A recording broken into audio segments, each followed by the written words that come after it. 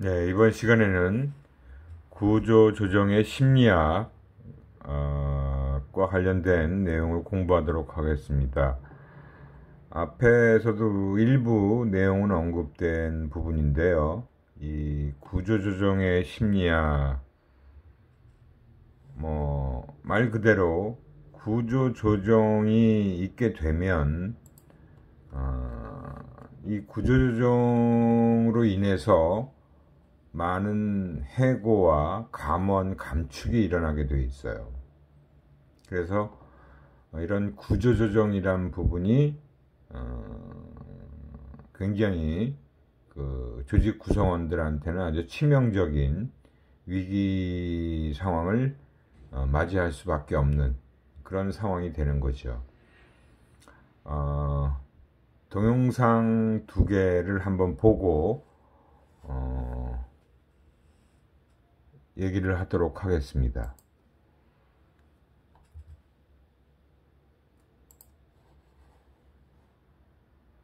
이렇게 경영 상황이 갈수록 나빠지면서 이 대기업들은 생존 자체를 위해 몸부림치고 있습니다. 문어발식으로 몸집을 불렸던 대기업들이 이제는 핵심만 남기는 구조조정을 하고 있습니다. 정우선 기자입니다. 최근 매각설에 휩싸인 제2기획 주변 직원들이 삼삼오오 모여 있습니다. 아무래도 많이 불안하죠. 기초별로 뭐 위로금이랍시고 뭐 얼마씩 준다 뭐 이런 찌라시도 보고 회사 측은 부인했지만 최근 삼성그룹의 구조조정 의지가 강해 직원들이 동요하고 있는 겁니다. 삼성은 2014년 방위산업 부문을 한화에 매각했고 지난해엔 롯데그룹의 화학 계열사를 팔았습니다. 비주력 계열사를 정리하고 전자, 금융을 주축으로 재편하겠다는 뜻입니다. 한화는 삼성에서 인수한 회사들을 주력으로 정하고 제약, 자재, 광고업 등을 정리했습니다. 지난해 사상 첫 적자를 낸 포스코는 철강과 무관한 34개 법인을 정리했고 올해도 35개 회사를 더 팔 계획입니다. 자금난을 겪는 두산도 공작 기계와 방산 등을 매각해 현금을 확보하고 면세점을 비롯한 유통을 새 성장 동력으로 정했습니다. 현금을 낭비할 수 없는 상황이죠. 이것저것 해보기에는 시장이 가만히 기다려주지 않는 거죠. 정말 하루하루가 피날리는 생존 경쟁에 내몰리는 상황이라는 생각이 듭니다. 과거엔 계열사 숫자가 곧 경쟁력이었지만 저성장과 경기 침체가 고착된 지금은 시너지 없는 계열사는 큰 부담일 뿐입니다. 과거는 그 비관련 다각화를 통해서 몸집을 불리는 것이 어, 뭔가 세계 시장에서 통할 수 있는 전략이었다면 핵심 역량과 시너지와 혁신을 통하지 않으면 생존이 하기 어려운 그런 패러다임으로 전환하고 있습니다. 부실에 따른 파급 효과가 불황 때는 더 크게 미치는 만큼 기업들의 선제적 사업 재편은 더 가속화될 전망입니다. SBS 정호선입니다.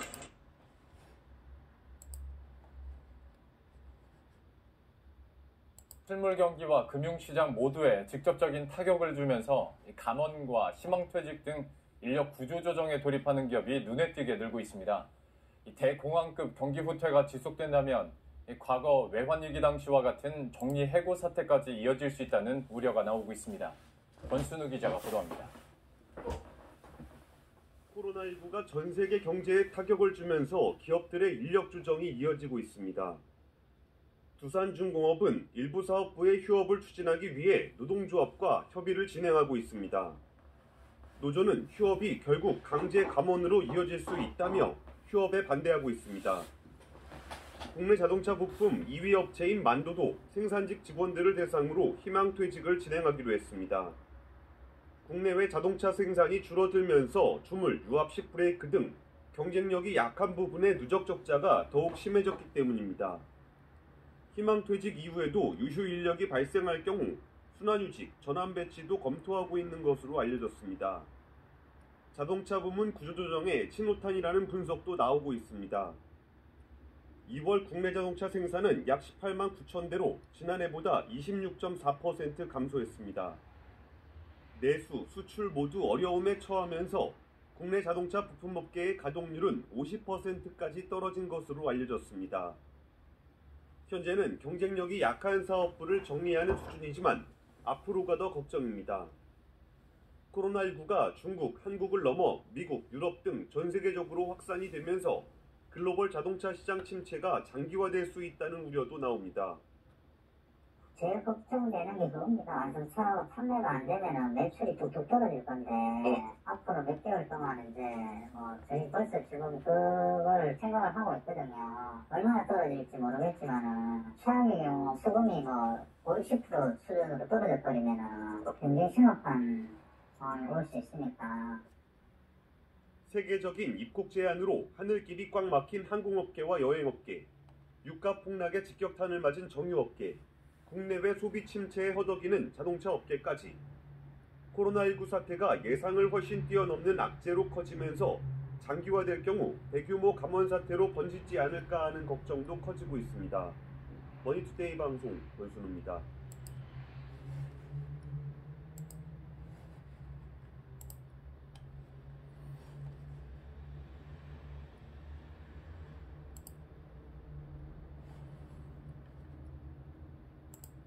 네, 잘 보셨죠? 어, 이렇게 그 몇 년 전에도 어, 대기업들이 그 계열사들을 정리하는 구조조정을 단행했고요. 어, 올해도 어, 굉장히 힘든 업종이 많죠. 그죠? 여기서도 지금 그 뭐 자동차, 항공, 뭐 여러 유통도 마찬가지고요. 그런 업계에서 지금 어, 이런 그 구조조정 바람이 굉장히 크게 나타나고 있어요. 구조조정의 정의를 보면 사업의 구조와 어,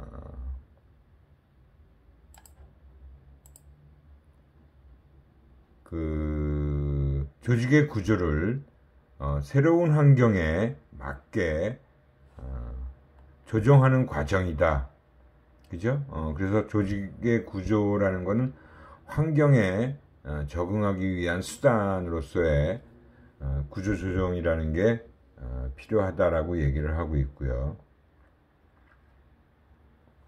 기존의 사업 구조나 조직 구조를 보다 효과적으로 그 기능 또는 효율을 높이고자 실시하는 구조 개혁 작업이다라고도 할 수 있어요. 근데 최근에 우리 국내외 기업을 보면 이런 효율을 높이고자 실시하는 구조 개혁 작업보다는 기업의 어떤 생존이 걸린 문제이기 때문에 그죠? 어, 그런 구조 조정이 훨씬 더 많이 나타나고 있습니다. 최근에도 뭐 이스타 항공 같은 경우가 어, 항공업계에 어, 코로나로 인한 승객 자체가 많이 감소했잖아요. 그죠? 해외 여행 자체가 힘든 상황이기 때문에 그러다 보니까 지금 이스타 항공 같은 경우가 대규모 해고와 어, 아예 월급이 나오지 않는 거의 6개월 이상 월급이 나오지 않는 그런 상황도 있고요. 아시아나 항공은 아예 지금 회사를 매각하려고 하는데 어, 임자가 나타나지 않아서 굉장히 힘든 그런 상황입니다. 우리가 앞에서 영상에도 봤듯이 삼성 같은 경우도 벌써 4, 5년 전에 어, 그런 삼성 테크민이라는 그런 어, 회사를 하나그룹에 어, 매각을 했어요. 그러니까 삼성에서 전자와 금융을 그룹의 집 주력 사업으로 선정하면서 그렇지 않은 화학이나 뭐 여러 가지 기계 산업 같은 것들은 다 하나그룹, 롯데그룹으로 다 어, 매각을 했던 거죠. 그 제일기획은 아직 매각은 하지 않았어요. 그 당시에 그런 얘기가 나왔지만 나오진 않았던 상황입니다.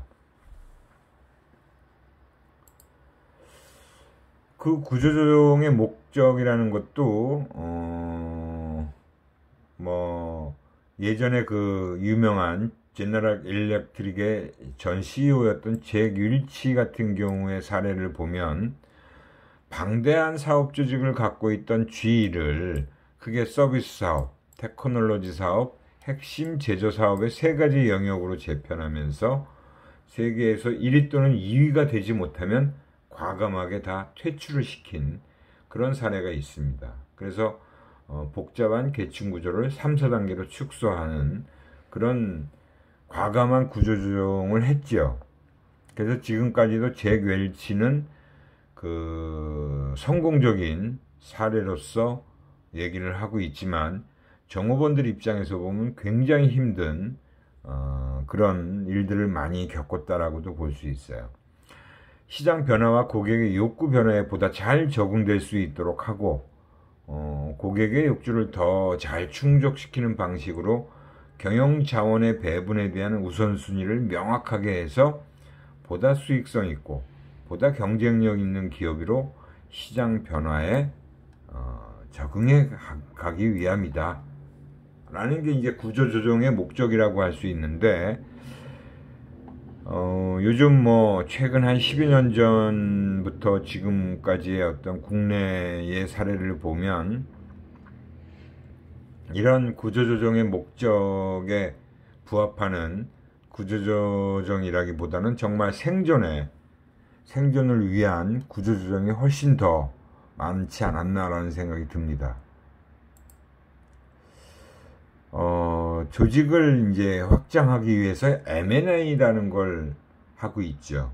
지금도 이제 그런 M&A가 국내외에서 많이 이루어지고 있어요. 그게 이제 인수합병이라고 하는 얘기입니다. 인수라는 것은 바로 한 조직이 다른 조직의 자산을 사는 거예요. 매입하는 거죠. 그래서 구입하는 거라고 얘기를 하는 거고요. 그 다음에 이제 합병이라는 것은 두 조직이 동등한 지위와 세력을 가지고 합치는 것을 얘기합니다.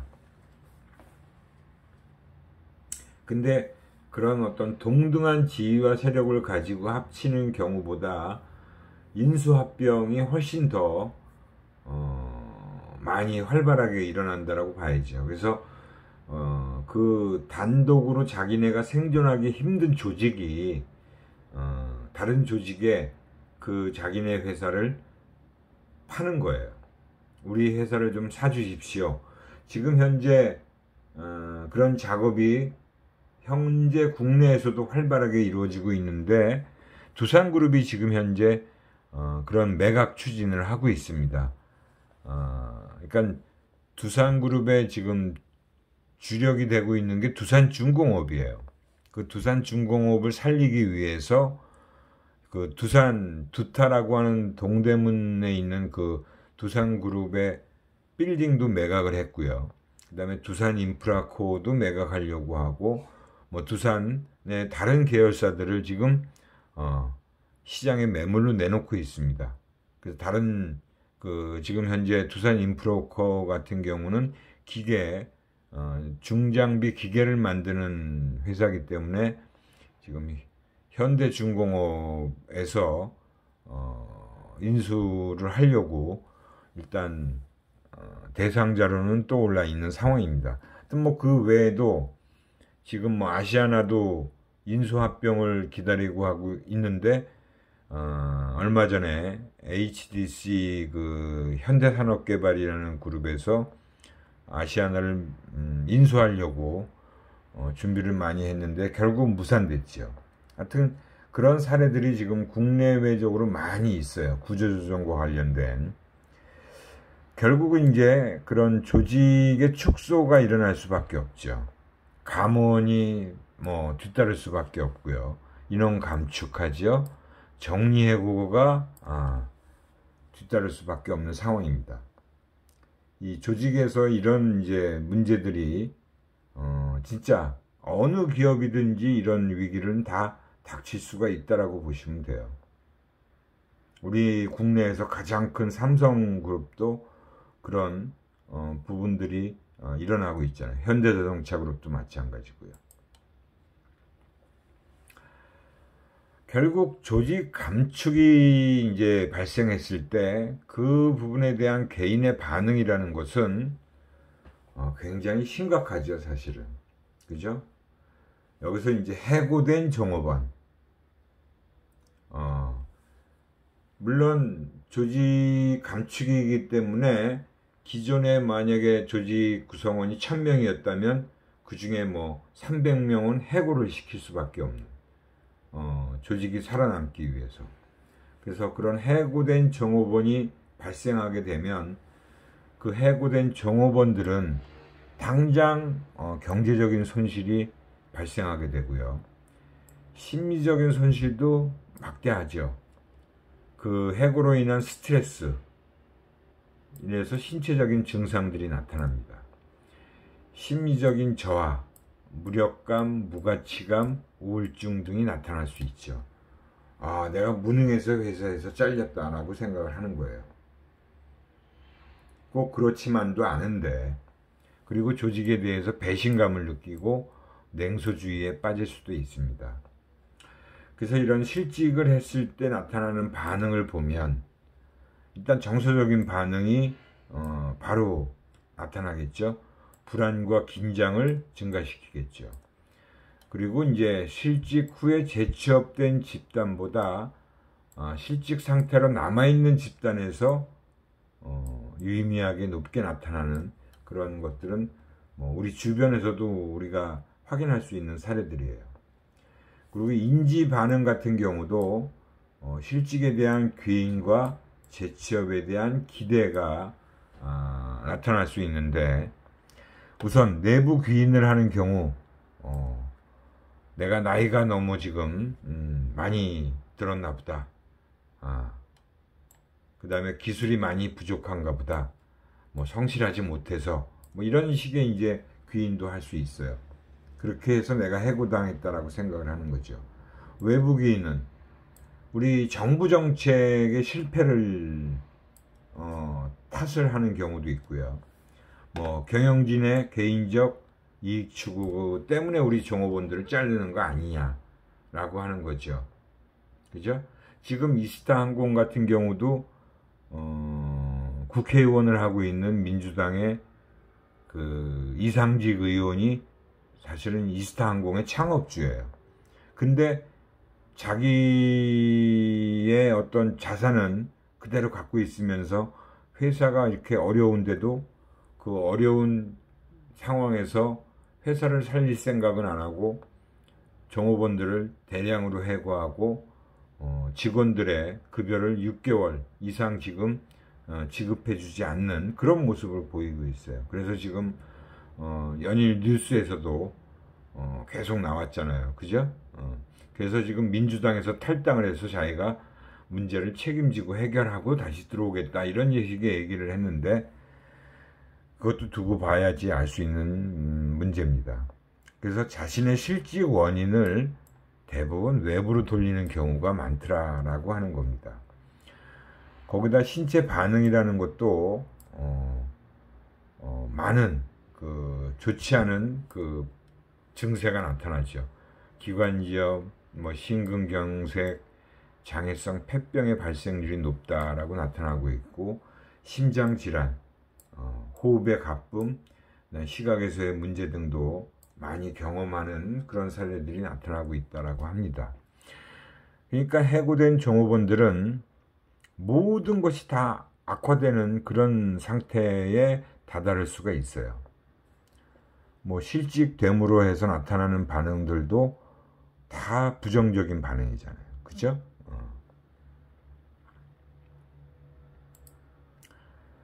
그리고 이제 생존자들의 에, 즉 살아남은 종업원들의 반응도 사실은 결코 좋은 일만은 아니잖아요. 내가 지금 당장 잘리지 않았기 때문에 아 나는 지금 살아남았으니까 어, 안도감은 갖겠지만 나도 저렇게 내 동료들처럼 회사에서 분명히 잘릴 수가 있겠구나 해고당할 수가 있겠구나라는 생각도 해요. 그래서 이 생존자들의 이제 반응 결정 요인들을 보면 어, 인원 감축의 당위성, 필요성에 대해서 납득할 만한 설명이 있어야겠죠. 회사에서 해고에 대한 적절한 사전 설명이 있어야 되고 해고 대상자 선정의 공정성, 즉 어, 해고시킬 사람들을 어떻게 어, 결정했는지, 선정했는지에 대한 어, 부분에서 공정성 있는 어, 그런 부분이 어, 이해가 돼야 된다는 거고요. 또 해고자들의 적응을 위한 배려 행동도 어, 있어야 되는 거죠. 당연히 뭐 상담도 해야 되고 퇴직금 제공하고 다른 직장으로의 어, 다시 취업을 할 수 있는 것 등을 알선해 주는 등 뭐 그런 부분들이 어, 생존자들 입장에서도 보면 필요한 어, 일이라고 볼 수 있어요. 그래서 생존자들의 반응은 그 해고된 사람들보다는 지금 당장은 안심을 하겠지만 그것도 완전한 음, 안심을 할 수는 없잖아요. 그죠? 야 나는 저 친구는 잘렸는데 내 동료는 잘렸는데 해고를 당했는데 나는 살아남았다. 라는 죄책감도 어느 정도 가질 수 있고요. 그래서 일단 조직에 대한 몰입이 감소돼요. 나도 언젠가는 저렇게 될 수 있다라는 생각이 드는 거죠. 그래서 야 나도 다시 옮길 회사 또는 다른 일자리를 알아봐야 되지 않을까? 라고 해서 이직을 탐색하게 되고 뭐 당연히 인원이 감축됐으니까 해고돼서 나간 직원들의 일까지도 본인들이 해야 되니까 업무량은 증가할 수밖에 없고요. 직무 만족 당연히 감소하겠죠. 그리고 우리가 이런 거래적, 심리적 계약이 굉장히 증가할 수밖에 없습니다. 또 심리적 계약도 파기가 될 수밖에 없겠지요. 당연히 조직 감축, 뭐 인원 축소 그런 조직의 어떤 변화가 아주 심각하게 많이 일어나고 있는 상황이니까 그래 거래적 계약에 또 관심을 들 수밖에 없으니까 그럼 내 월급 받는 일에 더 신경을 쓰게 되겠고 금전적인 관심이 당연히 증가할 수밖에 없습니다. 어, 조직에 대한 부분도 보면 스트레스가 증가하고 어, 방어적인 행동을 보이게 되고 뭐 안정적 업무 수행 야, 내가 적어도 뭐 큰 잘못은 하지 말아야겠다. 그러니까 도전성 부족해져요. 뭐 뭔가 위험, 리스크한 부분은 안 하려고 하고 안정적으로 할 수 있는 업무 수행을 하려고 하겠지요. 그리고 변화에 어, 저항하는 그런 모습도 나타날 수 있습니다. 그러니까 살아남았다 그래서 결코 마음이 편치 않아요. 어, 당장 잘리지 않았으니까 뭐 회사를 계속 다닐 수 있으니까 당연히 해고된 사람들보다는 낫겠죠. 하지만 그런 해고된 사람들을 옆에서 지켜보면서 본인들도 저렇게 될 수 있다는 생각은 당연히 할 수밖에 없게 되고 그 회사의 분위기나 상황은 더욱더 안 좋아질 수밖에 없죠.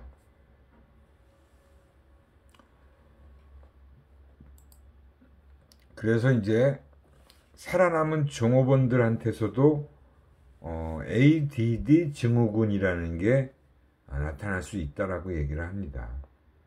그게 이제 After Downsizing Decertification Syndrome이라고 해서 어, 조직이 이제 축소되고 난 뒤에 나타날 수 있는 증후군이라고 볼 수 있어요. 뭐 대규모 어, 구조조정 이후에 기업에 남은 조직 구성원들이 겪는 정신의 황무지 현상이다라고 얘기를 하고 있습니다.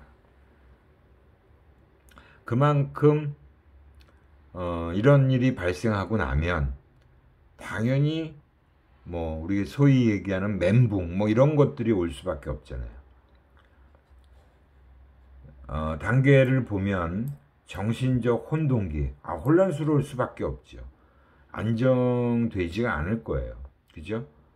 어, 막 여러 가지 생각이 들고, 어, 자기도 대책을 세워야 되겠고, 내가 이 조직에 좀 더 남아있기 위해서 뭔가 어, 더 일을 열심히 해야 되거나 아니면 뭔가 더 업적을 내지 않으면 나도 잘리겠구나 하는 생각이 들 겁니다.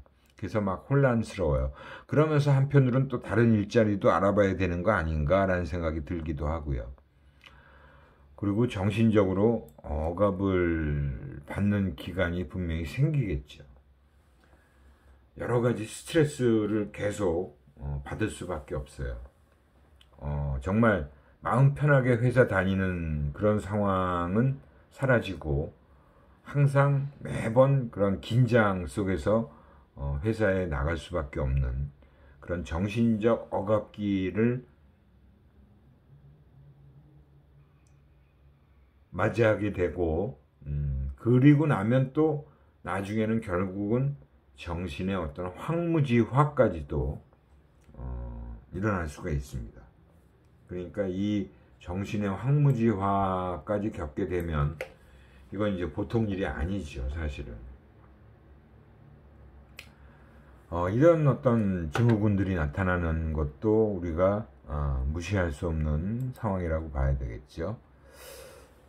어, 그래서 이런 구조 조정으로 인한 여러 가지 그 정리해고 그 다음에 그 해고 당한 사람 그리고 조직에 남아 있는 사람 양쪽 다 사실은 마음이 편치 않아요.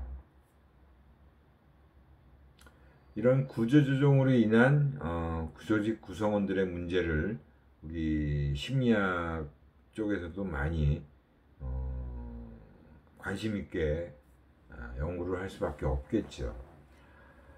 어, 특히 올해 같은 경우가 이제 코로나로 인한 어, 일반인들에 대한 그 우울증도 많이 나타나고 있잖아요. 그죠?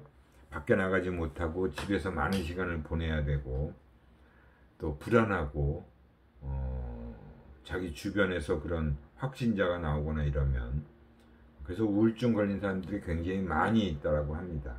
거기다가 또 이런 회사의 어, 문제로 인해서 스트레스를 받는 경우들도 많이 나타나고 있고요. 그 다음에 이제 합병과 인수에서의 심리학의 역할도 또 굉장히 크게 나타나고 있어요. 조직 간 통합의 이슈라고 볼 수 있는데 이 문화적 차이 당연히 기업 문화가 틀리잖아요. 그런 틀린 기업들이 합쳐지는 거잖아요. 합병과 인수, 인수합병이 일어났을 경우 특히 모 조직의 문화적 특성이 훨씬 더 강하게 작용, 작용하겠죠. 그러다 보니까 어떤 이질적인 그런 기업 문화, 두 개의 기업 문화가 서로 합쳐졌을 때 굉장한 진통이 나타날 수밖에 없어요. 다양성을 인정해 줘야만 된다. 근데 이제 인수에 성공해서 어떤 한 회사를 합병시켰을 경우에 그 점령군 입장에서는 어떻게 보면 어, 이 이제 대상 조직에 대한 오만함이라는 게 바로 점령군의 입장에서는 오만한 생각이 들잖아요. 어, 뭐 니네 회사 망해가는 회사를 우리 회사가 어, 살려준 거 아니야. 그죠? 그러니까 우리가 더 너희보다 우월하다. 그런 대인관계에서의 오만함을 보일 수밖에 없죠. 그렇게 해서 이제 어, 조직 간의 합병이 일어났을 경우에 그 다른 조직의 사람들이 하나의 어, 부서로 뭉쳐져 갖고 일을 하게 되면 이런 문제가 이제 발생할 수 있죠. 그리고 뭐 그 합병된 회사의 어, 직원들한테 뭐 그 인수한 회사의 어떤 임원이 어, 위에 임원으로 나타나 나오겠죠. 오겠죠. 왜냐하면 그 인수된 회사의 임원들은 다 사표를 내고 나갈 테니까. 그래서 새로운 그 인수한 회사의 임원들이 윗사람으로 오게 되고 또 팀원들은 또 그대로 있는데 그 위에 팀장이나 부서장들이 다 그런 회사에서 오게 되면 어, 굉장히 오만한 태도를 가질 수밖에 없잖아요. 그죠? 근데 이제 최근에 그런 일들이 너무 많이 나, 타나니까 그런 것들을 많이 자제시키긴 하겠지만 은, 은연중에 그런 모습들이 나타날 수가 있다라는 거죠. 어, 문화에서의 오만함도 나타날 수 있어요. 우리의 가치나 우리의 관행 신념이 더 우월하다. 그러니까 우리 회사의 어, 조직 문화를 니네가 오히려 수용하고 받아들여야 된다. 뭐 관리에서의 오만함도 있죠. 어, 니네 회사가 어, 방만한 경영을 했기 때문에 그렇게 문제가 생긴 거니까 우리 회사의 시스템이 더 우월하다라고 생각할 수도 있는 거예요. 어, 그랬을 때 대상 조직의 저항도 사실은 늘어날 수밖에 없습니다. 그 자기 이전 회사의 그런 어, 뭐라 그럴까 조직 몰입이 굉장히 강했다면 그리고 대상 조직을 자꾸 어, 중요시하면 사실은 굉장히 그런 저항이 크게 나타날 수밖에 없어요. 더 많은 영향력을 행사할 수밖에 없는데 사실은 뭐 그렇게 한들 이미 그렇게 합병된 인수합병된 상태가 변할 수는 없습니다. 자기가 아, 그 부분에 대해선 이제 인정을 하고 예전 조직의 많은 것들을 다 떨쳐버릴 수밖에 없어요.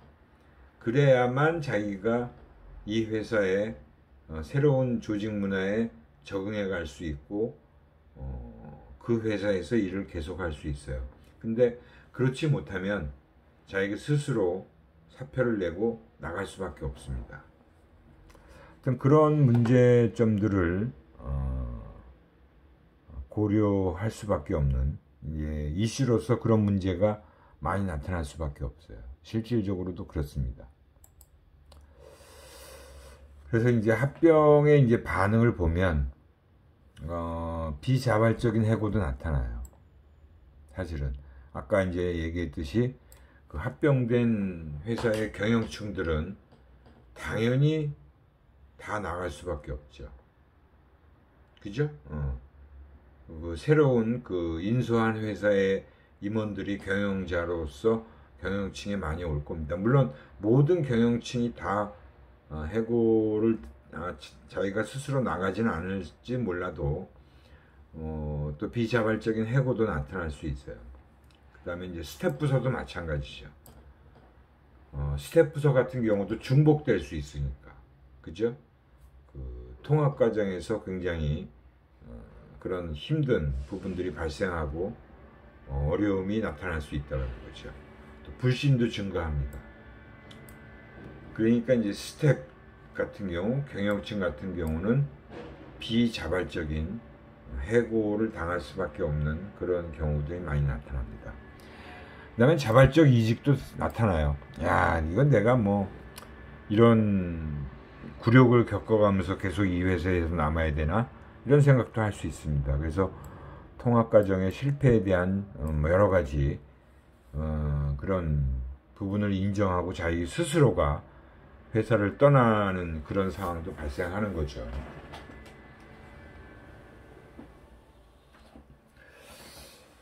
어, 그래서 이런 심리적 반응을 좀 음, 유심히 관찰해야 되고 그 남아있는 사람들의 어, 그 여러 가지 심리적 반응을 어, 관찰하고 주의 깊게 살펴봐야 될 필요가 있어요. 그래서 어떻게든 그런 합병이 일어났을 때는 그 조직 통합을 어떻게든 빨리 이룩하는 게 제일 관건이라고 볼 수 있습니다. 우선 일단 그 남은 그 사람들의 어떤 심리적 상실감이 굉장히 클 거예요. 그죠? 어, 그리고 야 우리 회사가 어쩌다가 이렇게 어, 망해가지고 생존을 못해서 이렇게 다른 회사에 어, 매각이 됐나 이렇게 살아남아야만 되느냐 하는 그런 대상에 대한 분노, 우울감 그리고 응집력은 되게 강해져요. 그 옛 동료들하고 자꾸 더 강하게 뭉치려고 하는 부분들이 나타나요. 근데 그게 결코 도움은 되지 않아요. 도움은 되지 않는데도 그러한 응집력이 자꾸 나타날 수밖에 없는 상황이 생깁니다. 그리고 변화에 대한 저항도 굉장히 강해질 수가 있어요. 야, 우리를 이렇게 자꾸 바꾸려고 그러나? 우리를 이렇게 자꾸 세뇌시키려고 그러는 거 아니야? 이런 식으로 자꾸 어, 변화에 대한 저항을 어, 보여주는 경우가 생깁니다. 아, 그래서 어, 이제 우리가 결국은 직장 내에서 어떤 반사회적인 행동을 보이는 부분에 대해서도 신경을 써야 되는 거죠. 이러여러 이러저러한 부분들 우리가 뭐 노조의 어, 그런 회사에 대한 저항도 많이 봐왔잖아요, 그죠? 그래서 직장에서의 이런 반사회적인 행동도 굉장히 어, 신경을 써야 될 부분이라고 봐요. 우선 이제 이 반사회적 행동이라는 것은 종업원이 조직에 대해서 불공정을 지각하게 되면 조직에 대해서 행사하는 보복 행동이 나타나는 경우가 바로 반사회적인 행동이에요. 우선 제일 이런 불만을 촉발하는 요인으로는 불공정성을 지각하는 겁니다. 아, 난 저 친구하고 나하고 공정하게 대우가 안 이루어지네? 어, 누구는 포상자가 되고 나는 포상을 못 받아? 왜 그렇지? 우리 똑같은 팀원인데? 이런 어떤 불공정성을 지각하면, 그리고 또 심리적 계약에 대한 위반이 발생하게 되면, 물론 자기가 주관적으로 지각을 하는 거예요. 하지만 어찌됐든 그런 지각을 하게 되면 어, 분명히 불만이 촉발되지요.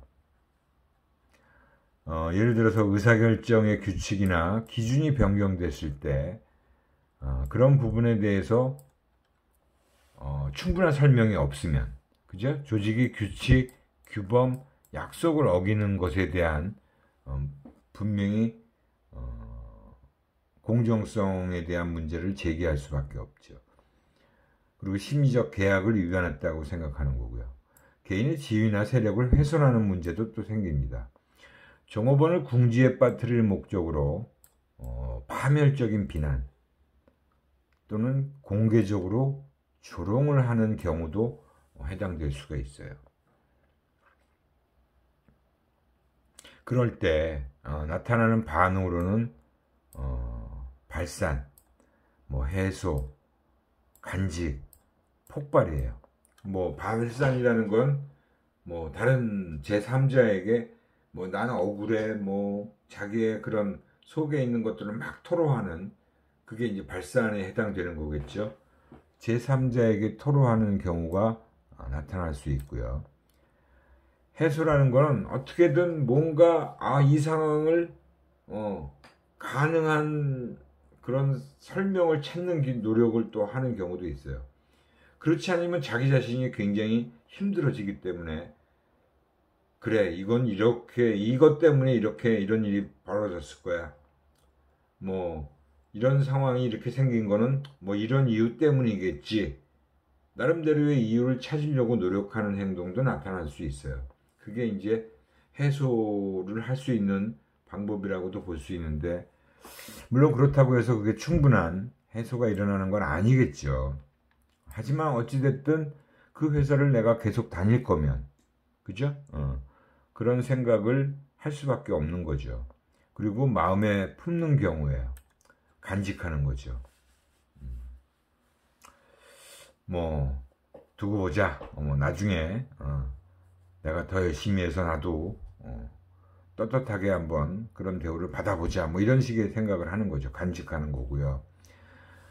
폭발이라고 하는 건 두 가지 케이스로 나타날 수 있어요. 그래, 내가 이번엔 포상을 못 받아. 그래, 다음번엔 내가 더 열심히 일을 해서 어, 반드시 어, 1등 포상을 받겠다. 라는 생각을 하면서 더 열심히 일하는 경우도 나올 수 있지만, 거꾸로 이제 어, 폭력 행사가 나타날 수도 있습니다. 음, 거는 굉장히 좀 어떤 극단적인 케이스가 되지만, 자기 뜻대로 되지 않고 자기의 생각이 분명히 나는 이거 어, 내가 어, 불합리한 그런 대우를 받은 거야 라고 생각하면 그걸 잘 참지 못하게 되면 오히려 막 직접적인 폭력 행사까지도 나타날 수 있어요. 근데 이거는 이제 자기가 혼자 그렇게 하는 것보다는 노조의 경우가 그런 식으로 나타나는 경우들이 종종 보아왔던 사례들이라고 볼 수 있죠. 그랬을 때 이런 공격 행동에 또 영향을 어, 미치는 요인들도 있어요. 그죠? 어. 뭐 개인적인 요인이라고 하는 그런 부분이 또 공격 행동으로 이어지는 경우도 있죠. 어떤 성격 특성에 따라 다를 거예요. 욱하는 성격이 있는 사람들은 뭐 그런 공격 행동이 유발될 수도 있죠. 근데 이제 조금 차분하고 어, 급하지 않고 좀 이성적인 그런 성격을 가지고 있는 사람들은 아무래도 공격 행동을 덜 나타날 수밖에 없습니다. 근데 이런 상황적인 요인도 어, 공격 행동을 유발할 수 있는 부분으로 작용할 수도 있다는 거예요. 밀집도, 혼잡에 대한 지각이 아 너무 막 그냥 복잡하고 막 그런 그 사무실 환경이나 막 그런 것들이 더 짜증을 유발할 수도 있고 막 그런 식의 어, 신경을 날카롭게 만들 수도 있다는 거죠. 어, 소음도 마찬가지로 통제 불가능한 소음들도 분명히 있을 수. 이건 이제 어, 사무실 환경보다는 공장 쪽에 해당되는 거겠죠. 온도, 높은 온도도 마찬가지로 사람을 더 어, 날카롭게 만들잖아요. 그 다음에 이제 알코올 음용, 술의 힘을 빌어서 평소에 그렇지 않던 사람이 조금 음, 알코올의 힘을 빌어서 더 이제 용감해지는 그래서 공격 행동을 보일 수 있는 경우도 나타날 수 있다라는 거죠. 어, 이런 것들에 대한 이제 대처 전략은 회사에서 어느 정도 어, 좀 고려를 할 수밖에 없죠. 당연히 큰 회사일수록 더 이런 거에 대한 어, 대처는 더 잘 되어 있다라고 봐야겠죠. 물론 예방 전략이라는 것은 뭐 종업원들을 사전에 교육시키는 방법이 있을 수 있어요. 그리고 대응 전략. 그 노조의 어, 그런 폭력적인 행동이 나왔을 때 이제 특히 비상 대, 응하는 어, 그런 직원들의 또 행동 요령도 있을 거고요. 그러니까 노사 관계가 굉장히 악화되면 그런 어떤 이런 공격 행동이 나오는 경우도 있잖아요. 그죠? 어. 그래서 일단 정호봉 교육을 철저하게 시키는 경우도 있고요. 또 실제로 발생했을 때 비상대처 계획을 수립해서 어, 이런 상황에서 이렇게 대응한다라는 것들을 어느 정도 다 플랜을 만들어 놓고 있는 것이 이제 일반적이겠죠. 그 다음에 재활 전략이라는 것은 최근에는 어떻게 보면 대기업을 중심으로 해서 이런 심리 상담 센터가 많이 만들어지고 있어요. 물론 이런 꼭 공격 행동에 대한 부분 때문에 만든 것은 아니고 어, 대부분의 이제 조직에서 기업에서 종업원들의 어떤 심리적인 문제를 어, 해소해주고 뭐 여러 가지 갈등, 그다음에 심리적 긴장감 이런 문제들을 좀 해소시켜 주는데 목적을 두고 심리상담센터가 많이 만들어지고 있고요. 어, 실제로 그래서 우리 심리학한 사람들 중에서 특히 임상, 음, 상담 심리학한 사람들이 기업에 음, 가는 경우도 많이 있습니다. 우리 구미에 있는 뭐 삼성전자에서도 가끔 우리 학과로도 어, 그런 인력들을 채용할 어, 생각이 있다는 그래서 뭐 좀 학생들을 좀 그 지원하게 해달라고 그렇게 요청이 오는 경우도 있어요. 지금 뭐 많은 기업들, 뭐 삼성중공업, 대우중공업 뭐 이런 그 조선소가 있는 그 지역에서도 마찬가지로 이런 심리상담 서비스를 운영하는 어, 기업들이 자꾸 늘어나고 있습니다. 종업원들 상담을 하고 심리 문제를 완화시켜 주기 위한 상담. 여러 가지 심리적 문제가 아, 종업원들마다 다르겠지만 그런 스트레스를 받으면 업무에 집중할 수가 없죠. 그렇기 때문에 그런 스트레스를 해소시켜 주기 위한 스트레스 매니지먼트를 위한 그런 상담도 이루어지고 있고요. 그 다음에 사회 서비스를 제공한다. 어, 자존감을 회복시켜주고 구직 효능감을 위한 그래서 이제 그런 이제 마찬가지로 뭐 해고가 예정되어 있거나 뭐 또 자발적인 퇴직을 할 수밖에 없는 상황, 뭐 비자발적인 해고를 당하는 상황도 마찬가지겠지만 그런 어, 상황에서 어, 그런 또 다른 직장에 가서 일을 또 더 잘할 수 있다라는 구직 효능감이라고 볼 수 있겠죠. 그런 또 재교육, 어, 그 다음에 또 실질적으로 어떻게 보면 또 정년 퇴직을 앞둔 종업원들한테 퇴직 교육, 퇴직자들을 또 교육시키는 경우도 있어요. 그래서 아무튼 어, 이런 직장에서의 반사회적 행동에 대한 어, 우리 심리학 쪽에서의 많은 그 해결 방안에 대한 연구도 많이 이루어지고 있고요. 어, 실제 구조조정과 관련해서 또는 이런 인수합병에 의해서 조직 통합이 일어났을 때 그런 문제들을 어떻게 잘 해결하느냐가 어, 굉장히 중요한 이슈로 많이 어, 대두가 되고 있습니다. 어, 오늘도 시간이 거의 다 돼서요. 어, 오늘 여기까지 이 정도로 하고 다음 시간에 또 다른 음, 파트를 어, 나갈 계획인데 이 구조조정과 관련해서 여러분들이 뭐 자료를 찾아보시면 굉장히 많은 자료들이 있을 거예요.